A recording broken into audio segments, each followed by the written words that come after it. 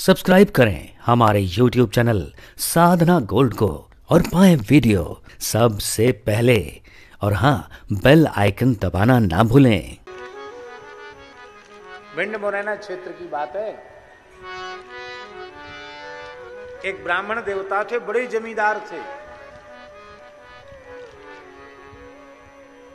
उस जमाने में उनके यहाँ हाथी घोड़े थे। अमीर आदमी थे, एक तरह के छोटे मोटे राजा जैसे ही थे वो, ऐसा समझो पर सत्संगी थे, नित्य राम, रामचरित मानस के माध्यम से उनके यहाँ सत्संग होता था। रात्रि को थोड़ी देर सत्संग होता था, थोड़ी देर कीर्तन होता था। इसलिए महाराज जी, नित्य सत्संग की महिमा, नित्य रामचरित मानस, गीता जी, भागवत, ये सब पढ़ने चाहिए। पता नहीं एक दिन क्या हुआ उनको। उनको वैराग्य हो गया।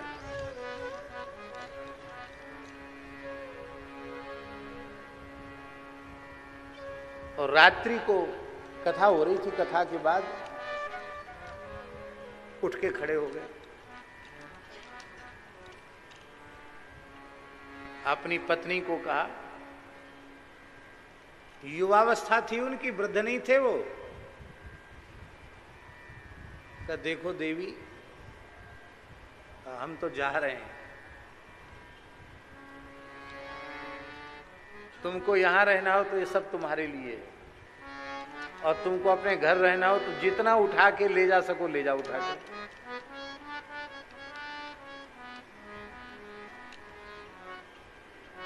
वो बिचारी क्या सोचे, पत्नी उसने सोचा कि ऐसे ही कह रहे हैं, आवेश आ गया होगा।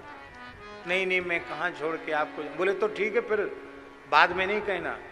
और उन्होंने आवाज़ लगाई कि जिसको जो वस्तु घर की चाहिए ले जा। लुटाने लगे महाराज। रात्रि में ही पूरे घर की संपत्ति लुटा दी।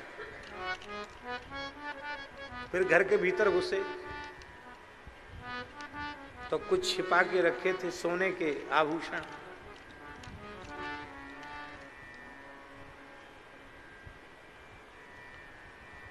तो सोने के बड़े बड़े हमेल भैंसों को पहना के, कुत्ता को पहना के, कुत्ता के गले में सोने के हमेल डाल के, उन्होंने हाँक दिया, जाओ। बोले, सोने के कारण तो लोग इनको पकड़ लेंगे, पाल लेंगे।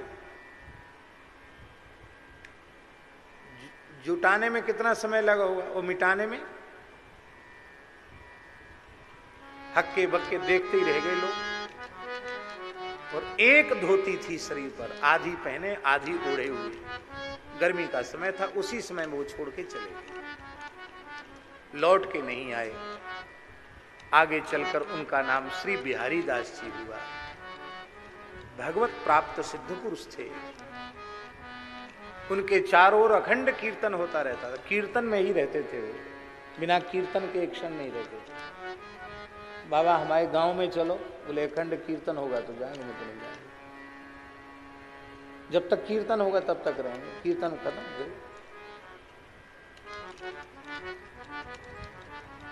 और उसी वेश, माने एक ही वस्त्र में जीवन भर रहे, एक उदरी सी रखते थे। और हमने दर्शन नहीं किया, पर पूज्य पहाड़ी बाबा महाराज गुरुदेव भगवान सुनाते थे उनके संबंध में कि लोग उनकी गुदड़ी लटक रही कंधे पर, और अभी लोगों ने वहाँ देखा, दूसरे क्षण लोग उनको प्रयाग में देख रहे हैं। तीसरे क्षण लोग उनको चित्रकूट में देख रहे हैं, कभी कोई उनको वाराणसी में देख रहा ऐसे थे। जिसको कहना चाहिए संकल्प सिद्धि होगी जहाँ चाहे वहाँ प्रकट हो जाए। निरंतर भगवान नाम का जप करते